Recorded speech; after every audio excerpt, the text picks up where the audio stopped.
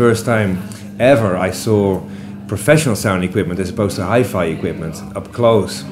And I remember they had like a, a couple of mixing desks, you know, uh, set up that they were working on, uh, being repaired, and I saw amp, racks and, uh, and big bass bins and uh, professional microphones, and uh, straight away it was just like, you know, that was you know very. I didn't know what anything did. I was looking at these mixing desks with all the controls, all the all the buttons. Didn't no idea what anything was, but uh, I knew I, I, I, liked the idea of that, you know. So uh, yeah, so live sound was it for me. That was it, you know, and uh, and I loved it, and still do now. Now things are completely different. The industry is completely turned around since people don't really buy music no longer. The live sound industry is where the, the, the money is coming from in, in our industry now. So uh, so um, so uh, that means that uh, that uh, that now I'm actually glad that I'm still a live sound engineer, you know, and uh, but saying all of that, you know, and now doing both studio and live sound.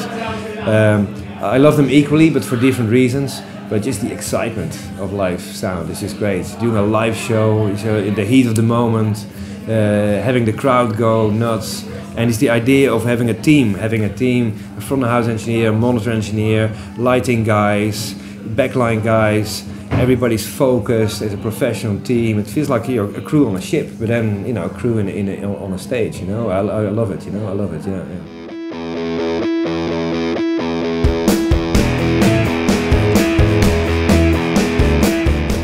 you're gonna be around a lot of amazing musicians all the time, you know.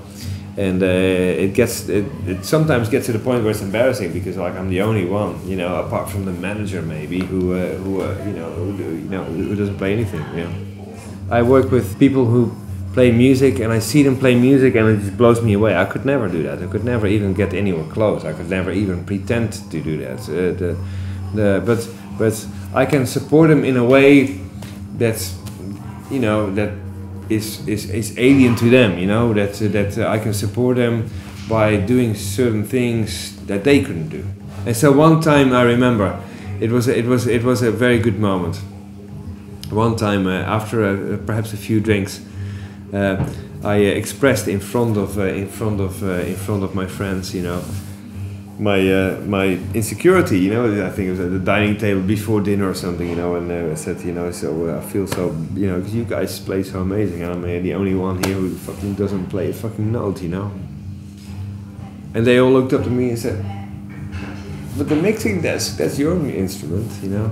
And that made me feel better. I love recording. I love live sound. I love mastering but I really love, love, love mixing because with mixing, that's uh, that's that's uh, that's really more than the other ones allows you to create an illusion, you know, and uh, um, uh it allows you to to to create uh, something whereby the people think that it is something that that you know it really wasn't that, but you made it sound like that, you know.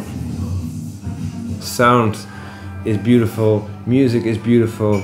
If you're a sound engineer, you get to make music sound beautiful. It's, it's better than sex. It's uh, just the, the music and sound where they come together, technology and art.